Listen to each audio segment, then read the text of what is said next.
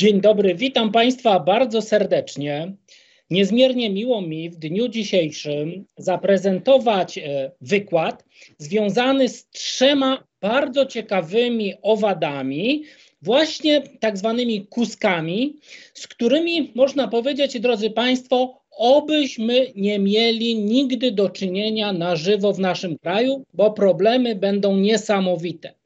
E, szanowni Państwo, e, temat jest, powiem szczerze, bardzo obszerny, ale nie mamy na niego za bardzo dużo czasu, bowiem na każdy gatunek jest poświęcone 10 minut, ale starałem się każdy gatunek oddzielnie dla Państwa zaprezentować, gdyż prawdopodobnie materiał ten będzie z czasem podzielony na sekcje i udostępniony, żebyście Państwo mogli skorzystać z tych informacji, które będziemy tutaj prezentować.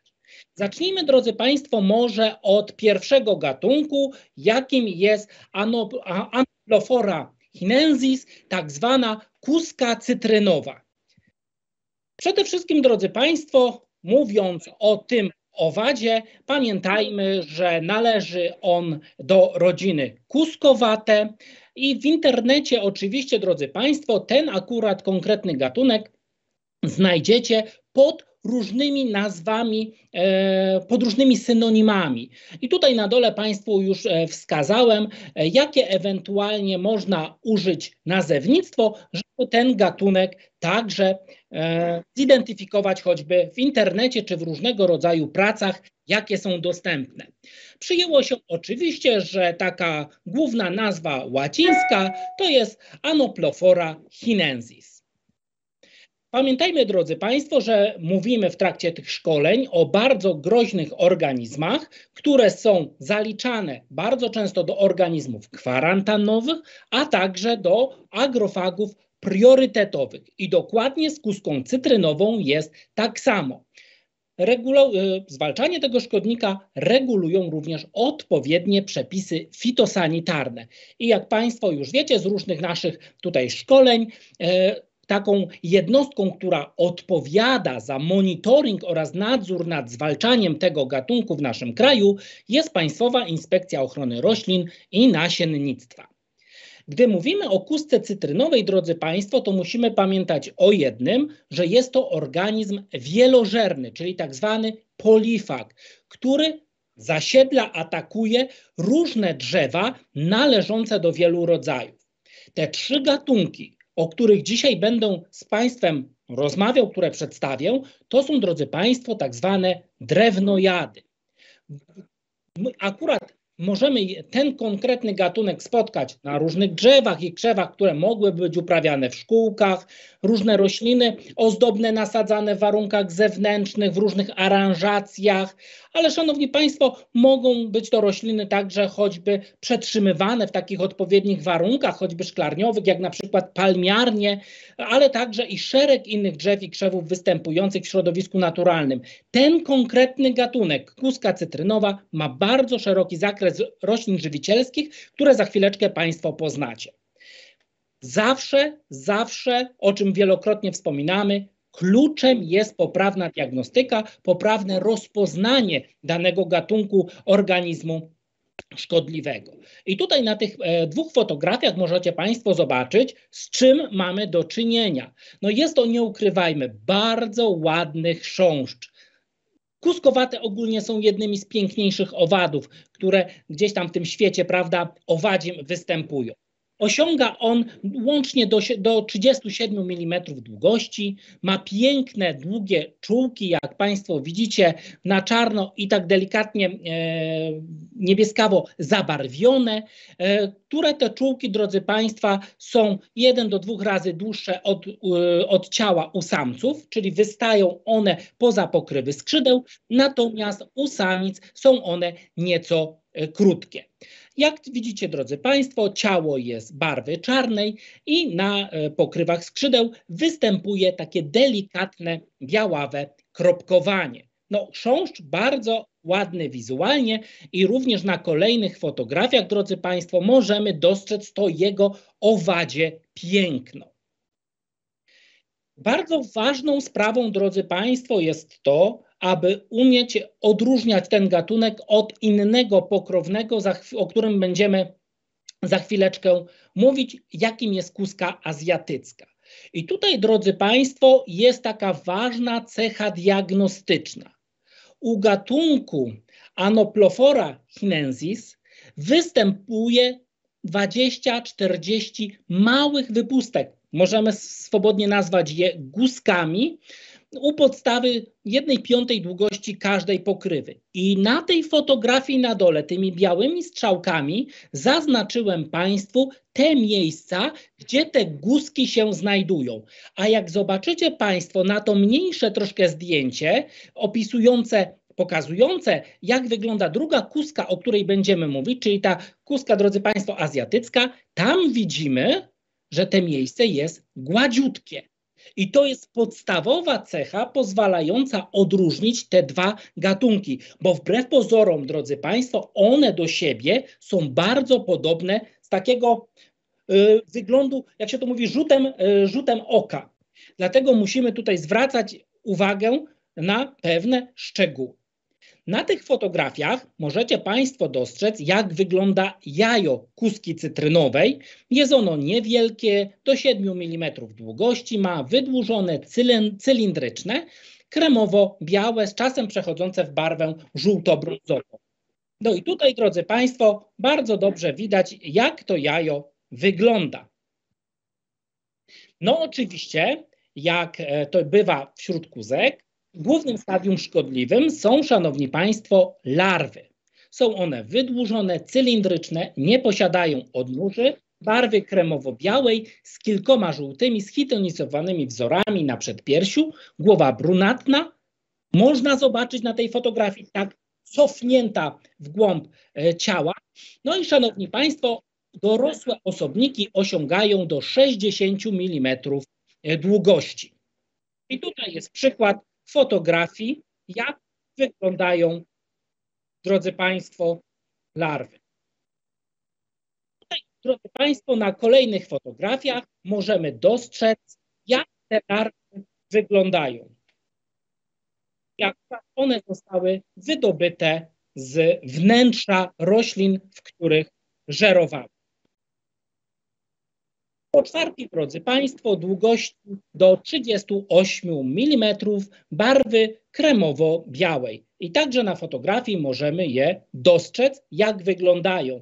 I tutaj cechą charakterystyczną kuskowatych są u poczwarek są właśnie te bardzo długie czułki, które układają się wzdłuż tutaj ciała, co dobrze, drodzy Państwo, widać. I tutaj ważna także informacja, choćby dla naszych inspektorów Państwowej Inspekcji, że są opracowane odpowiednie klucze taksonomiczne do oznaczania późniejszych stadiów larwalnych i osobników dorosłych. Przy tym gatunku także możliwe jest skorzystanie z badań biologii molekularnej. Na tym schemacie, drodzy Państwo, jest taki ogólny pogląd, jak wygląda cykl rozwojowy e, kuski cytrynowej. On będzie bardzo podobny, drodzy Państwo, do, e, także przy tym drugim gatunku, o którym będziemy e, rozmawiać.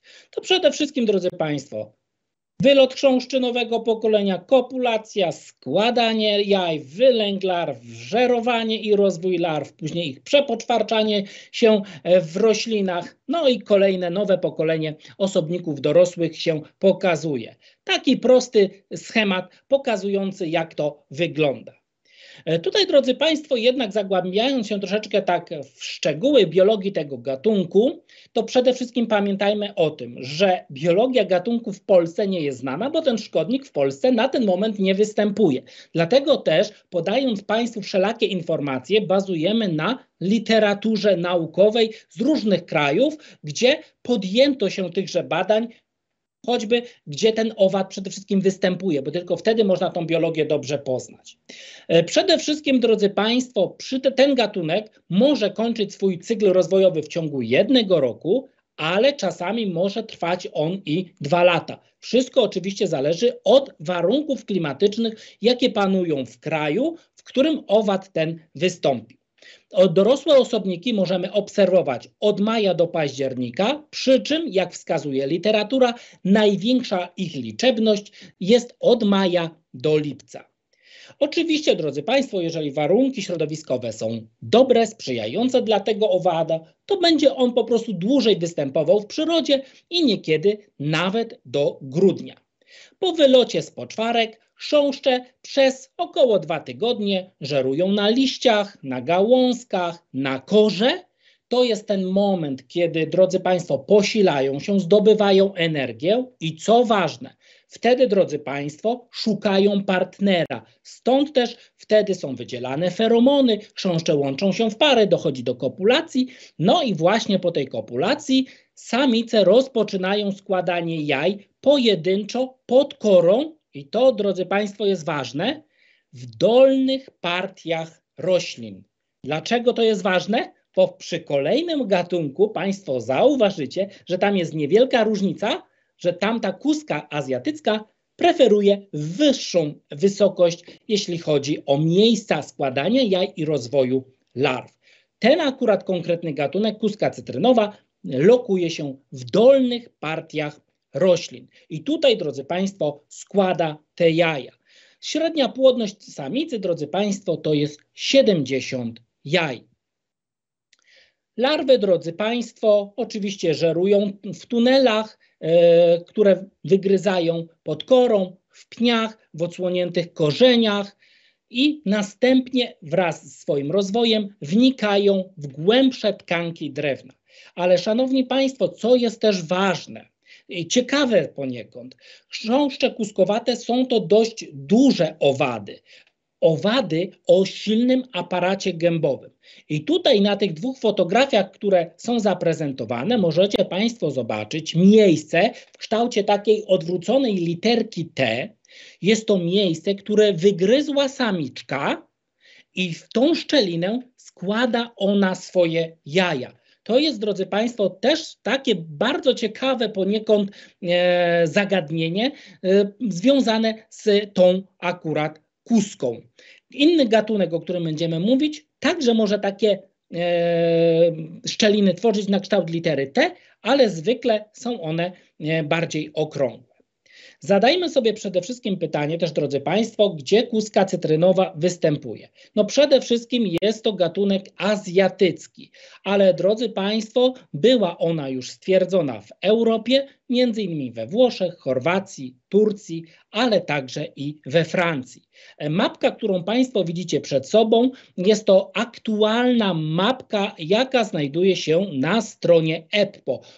Te mapki są aktualizowane co jakiś czas, więc warto wchodzić na stronę EPPO i sprawdzać sobie, jak wygląda aktualny zasięg tego szkodnika, ale także i innych organizmów objętych e, takim urzędowym e, monitoringiem. Bo drodzy Państwo, to się może zmieniać. Wszak, jeżeli w jakimś kraju występuje ten gatunek, może być on oznaczony jako miejsce występowania, podejmowane są tam działania zwalczające, no i później się może okazać, że nagle z mapki znikają pewne miejsca, w których do tej pory szkodnik był. Znikają, bo na przykład szkodnik został skutecznie usunięty. Więc warto na bieżąco analizować sytuację z rozprzestrzenianiem się tego szkodnika.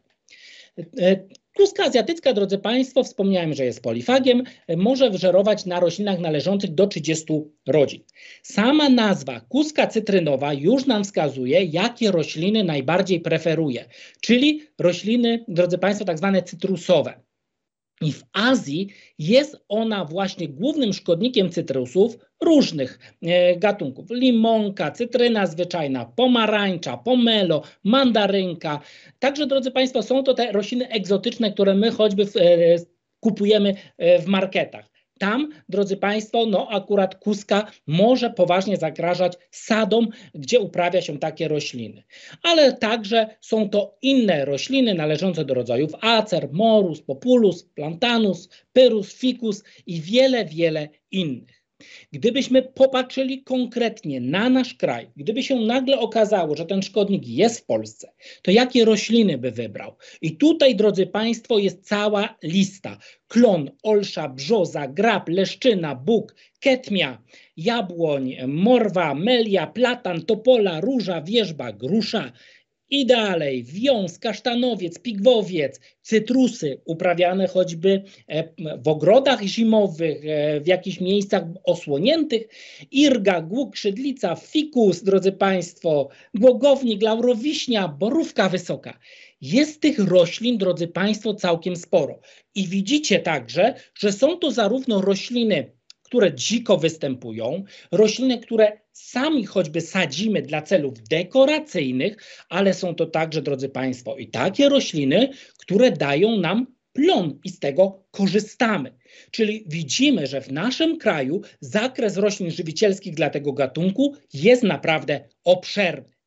Larwy, drodzy Państwo, to są typowe drewnojady. Żerują pod korą, wgryzają się w głębsze partie pni, konarów i tam, drodzy Państwo, wygryzają chodniki. I tutaj na, dolszy, na tych dolnych fotografiach możecie Państwo zobaczyć miejsca żerowania larw kuski cytrynowej. I bardzo często przy żerowaniu już takich starszych larw, z takich miejsc wysypują się trociny wymieszane z odchodami, e, no i one gdzieś tam zbierają się u podstawy, drodzy Państwo, roślin, gdzieś w jakichś zagłębieniach na roślinach i to jest taki poniekąd objaw e, który nam wskazuje, że coś się złego w drzewie dzieje, skoro lecą z niego trociny.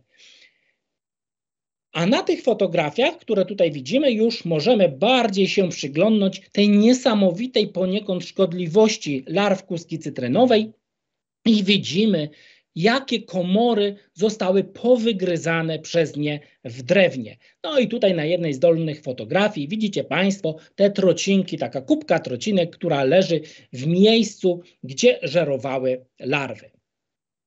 No i drodzy Państwo, to jest to, czego sobie nigdy, nigdy nie życzmy. Tu jest przykład rośliny, no niemal całkowicie, drzewka niemal całkowicie zniszczonego przez kuskę cytrynową. No i drodzy Państwo, niestety, jeżeli ten szkodnik kiedykolwiek by się w Polsce pojawił, to drodzy Państwo, wycinka, wycinka, wycinka. Czy nam się podoba, czy nie, e, na podstawie odpowiednich przepisów prawnych, Odpowiednie służby, w tym właśnie inspektorzy Piorin, będą mieli pełne prawo po prostu powycinać rośliny nie, tyle, nie tylko zasiedlone przez szkodnika, ale także, drodzy Państwo, Pamiętajmy, że jest to szkodnik kwarantannowy, więc w odpowiednim promieniu od miejsca, gdzie ten szkodnik wystąpi, niestety także może dojść do takich działań profilaktycznych, żeby zapobiec rozprzestrzenianiu się tego szkodnika na większy obszar. Nigdy, drodzy Państwo, sobie tego nie życzmy. Nigdy. No i tutaj jeszcze jedna ważna informacja, drodzy Państwo, kiedy te larwy sobie żerują, kiedy się już przepoczwarczą wewnątrz roślin, no to oczywiście muszą wylecieć z tych miejsc chrząszcze. No i drodzy Państwo, tutaj na tych fotografiach możemy zobaczyć okrągłe otwory wylotowe średnicy 10-15 mm, za pomocą których chrząszcze wylatują, wychodzą z wnętrza zasiedlonych roślin. Tak one wyglądają. No a tutaj, drodzy Państwo, innym objawem szkodliwości, to o czym wspomniałem już wcześniej, są te nacięcia na korze, nacięcia często w kształcie litery T, które e, to miejsca służą samicom do składania jaj. Warto o tym wiedzieć, trudno w sumie je wykryć, bo tak wskazuje literatura, ale może to być jedna z takich cech diagnostycznych, gdy szukamy e, miejsc żerowania e, szkodnika. Chrząszcze, drodzy Państwo, możemy także uznać za stadium szkodliwe tego gatunku, mają aparat gębowy typu gryzącego, wobec tego mogą ogryzać cieńsze gałązki, mogą ogryzać, drodzy Państwo, gdzieś tam odrosty, pędy, no i to oczywiście także prowadzi choćby do uszkodzenia e, tych gałązek, do więdnięcia liści, przebarwiania się ich, do przebarwiania się kory. Czasami są e, obserwowane wycieki gumy e, czy też soku z takich roślin uszkodzonych przez chrząszcze. Mówiąc o roślinach żywicielskich dla tego gatunku, już zwróciliśmy uwagę, drodzy Państwo, że zakres roślin żywicielskich w Polsce jest ogromny. Wobec tego ten gatunek ma, drodzy Państwo, wysoką możliwość zasiedlić praktycznie cały nasz kraj, bo wszędzie spotkamy rośliny, na których może potencjalnie się rozwijać. I są to zarówno lasy, drodzy Państwo, parki, aleje, ale to również, drodzy Państwo, szkółki roślin, centra ogrodniczo, sady, ogrody hobbystyczne, czy nawet te palmiarnie, które przecież wielu z nas uwielbia odwiedzać. jest mnóstwo miejsc, drodzy Państwo, gdzie ten owad ma szansę przetrwać, ma szansę się namnażać. Odnośnie pobierania prób, to pamiętajmy, że jest to szkodnik objęty nadzorem fitosanitarnym. Służby państwowe, czyli inspektorzy PIORIN, mają odpowiednie metodyki do analizowania prób roślin na obecność tego gatunku. No i też, drodzy Państwo, bardzo ważny jest monitoring. I ten monitoring oczywiście prowadzą nasze służby. Polega on przede wszystkim na obserwacjach wizualnych, choćby roślin, e, które mogą być potencjalnymi żywicielami e, dla kuski cytrynowej. To mogą być różne produkty drzewne, w których może się ten szkodnik choćby ukrywać. Drodzy Państwo, tych, tych e, metod monitoringowych na różnych roślinach jest sporo, dlatego też, drodzy Państwo, warto to robić i to, drodzy Państwo, już jest robione. Ale pamiętajmy, że każdy z nas, bo wszak zapewne materiałów tych słuchają choćby ogrodnicy, działkowcy, E, każdy z nas e, powinien także przyłożyć tą swoją rękę do monitoringu tego owada, ponieważ nie znamy dnia ani godziny, kiedy on może przeniknąć do naszego kraju, ba może właśnie przeniknąć do jakichś małych ogródków działkowych i przez pewien okres czasu być niezauważalny. Dlatego tak bardzo ważna jest tak zwana odpowiedzialność społeczna, żebyśmy nigdy nie dopuścili do tego, żeby ten szkodnik w Polsce się pojawił, a przede wszystkim namnożył i rozprzestrzenił, bo wtedy, drodzy Państwo, będą bardzo duże problemy, bo jak Państwo widzicie, jako drewnojad jest bardzo trudny, drodzy Państwo, do zwalczania. No i tutaj jeszcze jedna informacja, że do monitoringu chrząszczy możemy użyć odpowiednie choćby pułapki chwytne, choćby oparte o zapachy. No i tutaj analizując, drodzy Państwo, szanse pojawienia się tego gatunku w Polsce, niestety należy wskazać, że nie, jest duże prawdopodobieństwo, że owad ten może w Polsce się pojawić, zwłaszcza jak wspomniałem, tych roślin żywicielskich ma całkiem sporo i może on naprawdę mieć bardzo duży wpływ na prowadzoną w naszym kraju nie tylko produkcję ogrodniczą, drodzy Państwo, ale także i na bioróżnorodność roślin, które e, są e, w naszej e, florze. Także jest to gatunek o dużym znaczeniu gospodarczym. E, polecam Państwu bardzo odwiedzenie strony Instytutu, gdzie znajduje się tak zwana analiza zagrożenia agrofagiem. Tam jest bardzo dużo informacji o niej, ale także choćby na stronie Piorin możecie Państwo znaleźć opracowany plan awaryjny dla tego gatunku, ale także i dla kuski azjatyckiej, o której za chwileczkę będziemy mówić. No i drodzy Państwo, przechodzimy teraz do drugiego gatunku, Proszę zwrócić uwagę, już widać na tym, na tym, na tym e, zdjęciu, jakże podobnego do kuski cytrynowej, a jest nim kuska azjatycka, Anoplofora gabri pennis. I tutaj również, drodzy Państwo, wielkiej filozofii nie ma. Są to gatunki należące do tej samej rodziny, do tego samego rodzaju. Ta kuska także jest gatunkiem kwarantannowym i agrofagiem priorytetowym. I również jest to gatunek silnie polifagiczny, podobnie jak ten, o którym mówiliśmy, i również on zagraża różnym drzewom i krzewom uprawianym w naszym kraju. Mówiąc o cechach diagnostycznych, to chrząszcze, drodzy Państwo, mają długość ciała do 32 mm i szerokość do 11 Natomiast samice są nieco większe, dorastają bowiem do 36 mm, a szerokość ich ciała to 12 mm. Ciało jest czarne, błyszczące i może mieć niebieskawy odcień, a na pokrywach skrzydeł e, znajduje się 10-20 nieregularnych białych lub żółtych plamek. Przy czym, drodzy Państwo, literatura również wskazuje, że tych plamek może być mniej lub może być więcej. Czułki, jak można było zobaczyć, składają się z segmentów o takim naprzemiennym ubarwieniu, niebiesko-białym i, drodzy Państwo, niebiesko-czarnymi pasami. I również samce mają czułki wyraźnie dłuższe niż samice.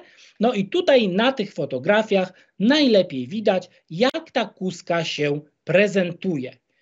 Zwróćmy, drodzy Państwo, uwagę, to o czym wspomniałem, jest bardzo podobna tak na pierwszy rzut oka do kuski cytrynowej. Ale tu znów powracamy do tej takiej głównej cechy identyfikacyjnej, jaką jest właśnie obecność tych wypustek. Przy gatunku kuska azjatycka tych wypustek nie ma. I tutaj strzałkami białymi zaznaczyłem to miejsce. Jest gładkie. Jaja, drodzy Państwo, mają długość do 7 mm, są podłużne, no i nieco przypominają ziarenko ryżu. I na fotografii tak one wyglądają. Larwy beznogie, drodzy Państwo, głowa brązowawa. E, mogą one dorastać do 60 mm, nie mają odnóży i nie mają żadnego delikatnego, choćby nawet owłosienia. I oczywiście żar, e, larwy, typowe drewnojady, żerują wewnątrz roślin. Poczwarki białawe, długości do 38 mm, e, kształt typowy dla poczwarek chrząszczy kuskowatych. No i tutaj, drodzy Państwo, jest także możliwa diagnostyka tego gatunku w oparciu o dostępne e, klucze, w tym także, drodzy Państwo, e, analityka związana z sekwencją DNA. Cykl rozwojowy bardzo podobny jak przy kusce cytrynowej. Ten akurat gatunek potrzebuje na ogół jednego roku, żeby zakończyć swój rozwój, chociaż w niektórych krajach może to być dwa lub trzy lata, w zależności od temperatur, jakie tam panują. Wskazuje się, że na przykład we Włoszech, które jak wiemy są ciepłe, Szkodnik może zamknąć swój cykl w ciągu roku, ale bardziej prawda w tych rejonach chłodniejszych na północ od Alp może to być dwa lub trzy lata. W zależności od temperatur dorosłe chrząszcze obserwuje się od kwietnia do grudnia, a ich aktywność największa jest od maja do lipca. Składanie jaj rozpoczyna się około tygodnia po kopulacji i również jaja samice składają pod korą wygryzionych przez siebie szczelinkach. No i tutaj drodzy Państwo, wskazuje się, że tak jedna samica może złożyć tak 30-32 jaja, ale taka średnia gdzieś tam płodność gatunku, drodzy Państwo, no, zmienia się w zależności od kraju. Choćby literatura wskazuje, że, że Wło we Włoszech samice mogą złożyć nawet 60 jaj. Czyli widzimy, że te warunki klimatyczne mają też duży wpływ na to, jak ten szkodnik, jaką płodnością się charakteryzuje. E, samice oczywiście wycinają szczelinki, drodzy Państwo, i tutaj przede wszystkim po wschodniej stronie pnia lub gałęzi. Szczelinki są zwykle okrągłe, lejkowate, ale na przykład w przypadku drzew o cienkiej korze mogą mieć ten kształt literki T, tak jak w poprzednim gatunku. I tu jest to, na co też zwracałem uwagę, te miejsca, gdzie szkodnik składa jaja, położone są w centralnej lub górnej części pnia oraz na głównych gałęziach, czyli powyżej aniżeli e, kuska cytrynowa. Larwy wylęgają się po około dwóch tygodniach od złożenia jaj, żerują początkowo w warstwie kambium, a później wnikają, wgryzają się w do tkanek drewna. I większość osobników tego gatunku zimuje w stadium larwy, późną wiosną czy też wczesnym latem przepoczwarczają się w komorach, no i następnie, drodzy Państwo, wylatują osobniki dorosłe.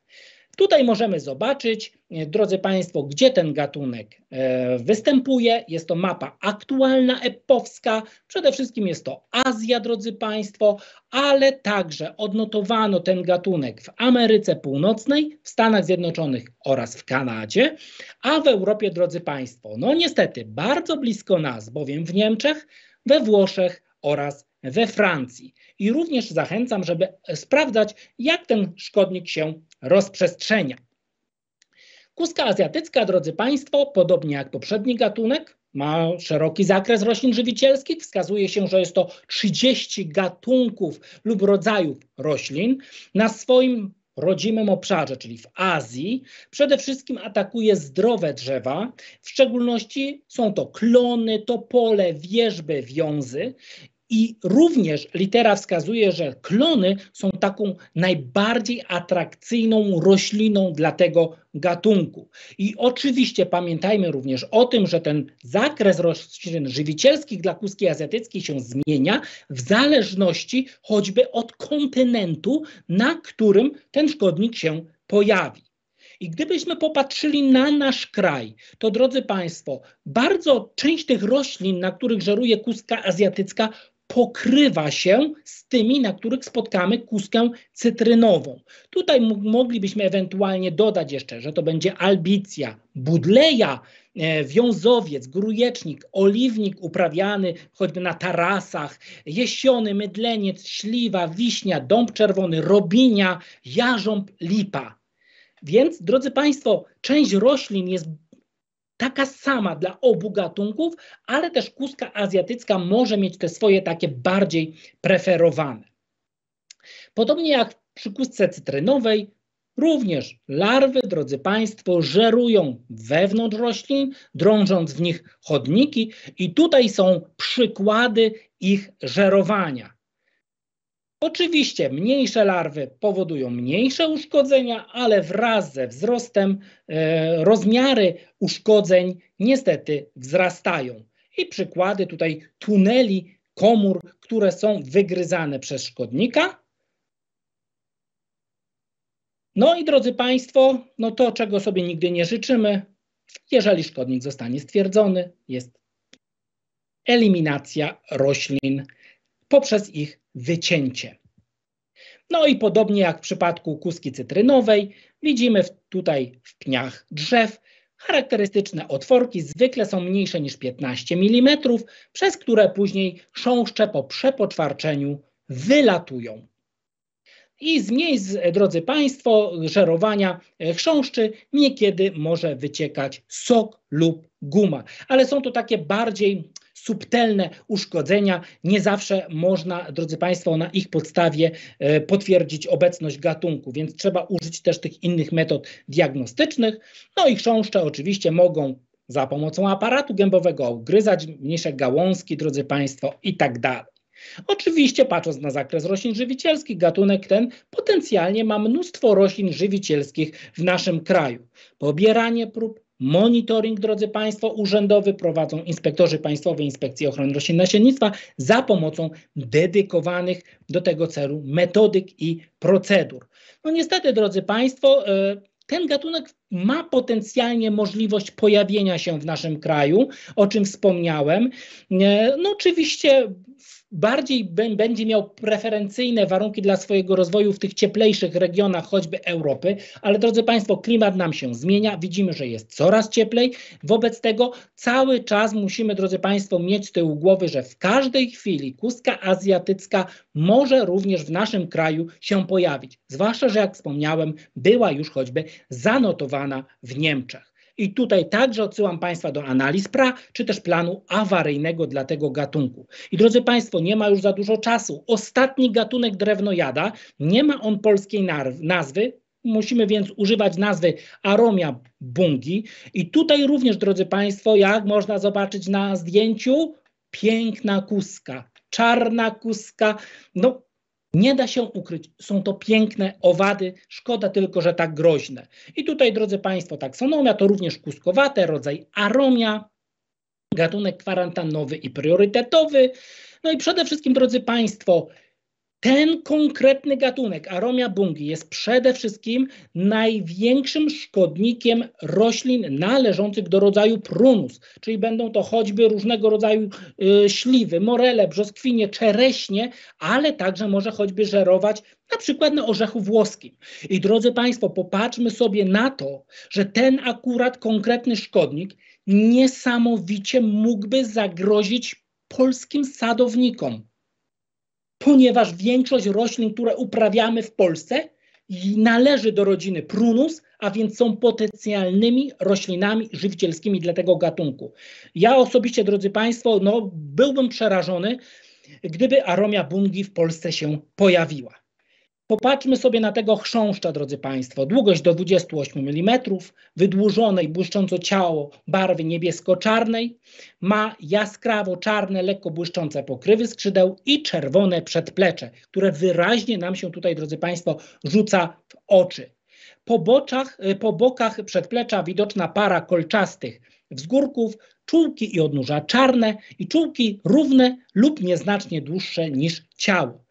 I samce mają, drodzy Państwo, podobnie jak przy poprzednich gatunkach, e, nieco e, mniejsze od samic czułki.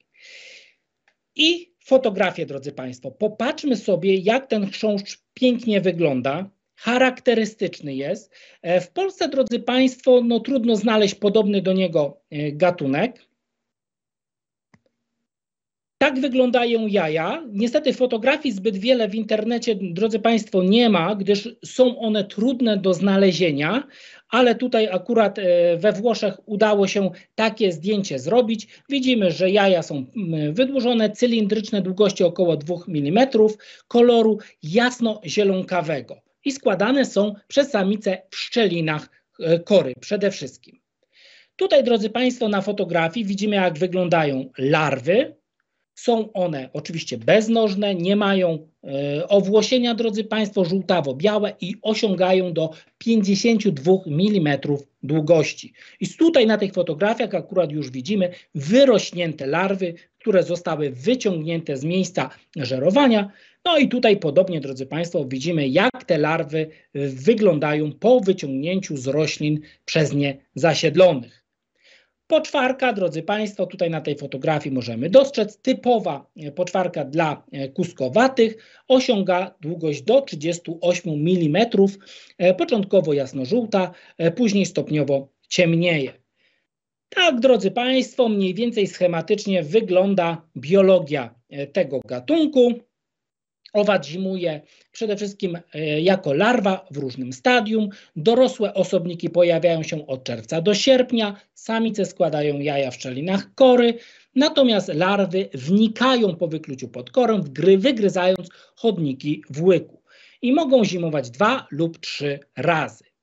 E, larwy oczywiście dorosłe przepoczwarczają się w wygryzionych e, komorach. Stadium poczwarki w zależności od temperatury trwa od 17 do 23 dni, a przepoczwarczenie następuje zwykle wiosną.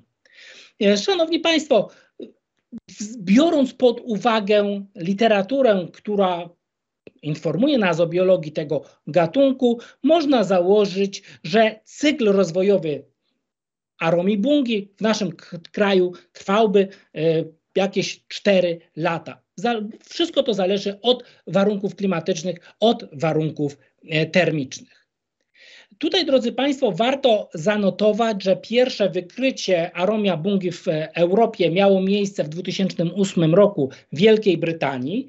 W 2011 roku wykryto go w Niemczech w prywatnym ogrodzie w Bawarii i pomimo usunięcia tego drzewa zasiedlonego przez szkodnika, okazało się, że na tym terenie gdzieś pozostały jeszcze opanowane przez niego i wobec tego w 2016 2016 roku okazało się, że dość sporo, drodzy Państwo, osobników znaleziono, czyli jak, to też nam pokazuje, jak bardzo ważny jest monitoring wokół miejsc, drodzy Państwo, pierwszego wykrycia danego organizmu.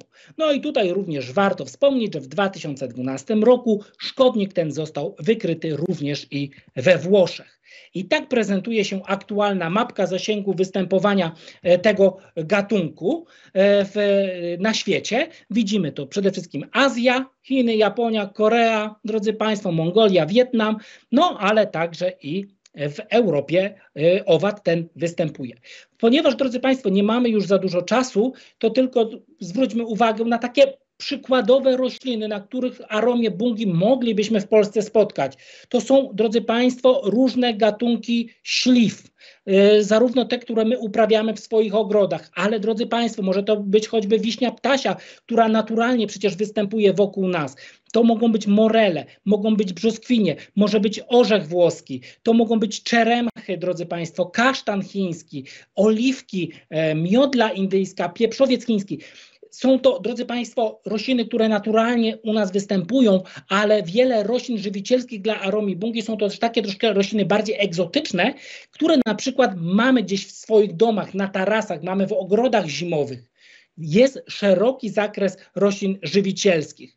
I tutaj również Głównym stadium szkodliwym są larwy żerujące wewnątrz roślin, żerujące pod korą, które mogą, drodzy Państwo, później wgryzać się w głębsze partie rośliny, tworząc, wygryzając w nich chodniki. I tak wyglądają przykładowe fotografie pokazujące miejsca żerowania larw tego gatunku i z tych miejsc żerowania larw także wysypują się trociny zdradzające ich obecność wewnątrz. No i oczywiście przy silnym żerowaniu, drodzy Państwo, dochodzi do poważnego uszkodzenia roślin i zamierania e, ich choćby czy to całych roślin, czy też poszczególnych choćby gałęzi. Gatunek ten oczywiście zagraża całemu naszemu krajowi, drodzy Państwo, i również pobieranie prób, monitoring. Tutaj y, są odpowiednie procedury, jeśli chodzi o pracowników Państwowej Inspekcji Ochrony Roślin i Nasiennictwa. I też, drodzy Państwo, pamiętajmy, każdy z nas jest tutaj bardzo ważny w tym całym łańcuchu wykrywania szkodnika, żeby ewentualnie obserwować rośliny y, rodzaju prunus, na których szkodnik ten może żerować. No i szanowni Państwo, no ryzyko pojawu tego gatunku oczywiście w Polsce występuje, dlatego tym bardziej należy ten gatunek monitorować i też odsyłam do planu awaryjnego dla tego gatunku oraz analiz zagrożenia agrofagiem. Bardzo dziękuję Państwu za uwagę. W razie pytań jestem do dyspozycji.